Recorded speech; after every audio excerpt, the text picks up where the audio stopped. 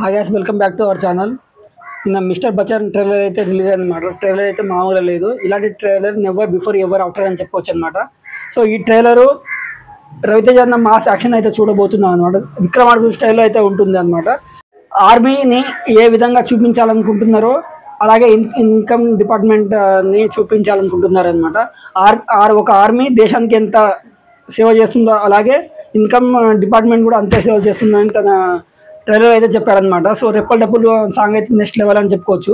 So ధమాకా తర్వాత ఒక మంచి హిట్ పడలేదని అని చెప్పుకోవచ్చు అనమాట ధమాకా తర్వాత ఒక వంద కోట్ల సినిమా ఇది అవుతుందని నేను ఖచ్చితంగా చెప్తున్నాను అనమాట ఎందుకంటే ఆ- విధంగా అయితే విజువల్స్ అయితే ఉన్నాయి.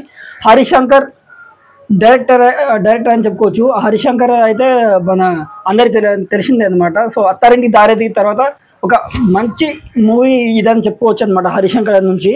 సో ఇది వంద కోట్ల క్లబ్లో చే చేరాలని మనస్ఫూర్తిగా కోరుకుంటున్నాను.